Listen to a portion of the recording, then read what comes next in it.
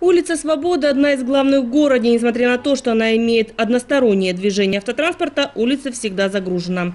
А пешеходам приходится передвигаться буквально по проезжей части. Теперь все изменится. Здесь началось строительство нового тротуара. Его протяженность без малого один километр.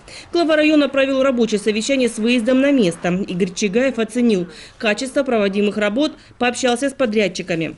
Тротуар соединит улицы Турчанинова и Красноармейскую. В целях безопасности на некоторых участках установят железное ограждение. Городское руководство рапортует главе района, что этот объект в эксплуатацию будет сдан уже через три недели. Игорь Чигаев отмечает, главное в этом деле качество.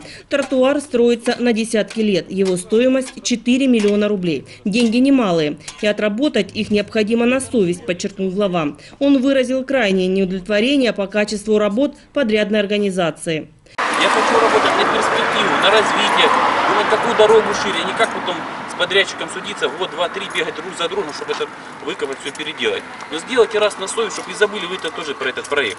Но если вы мне дали слово руководителя и человека, что я сделаю на совесть, В ходе осмотра объекта у главы района возникает много вопросов по качеству строительных работ. На место он срочно вызвал все контролирующие службы для выяснения обстоятельств. Ответственным лицам Игорь Чигаев дает неделю на устранение всех замечаний. А в районной больнице уже выполнили ряд поручений, данных главой во время рабочей поездки в ЦРБ. Тогда Игорь Чигаев сделал замечание главврачу по поводу некомфортного пребывания больных инфекционного отделения. В палатах и коридорах было очень жарко. Сегодня здесь установили 4 сплит-системы. Наталья Литвиненко, Игорь Исаков, телекомпания «Алаба».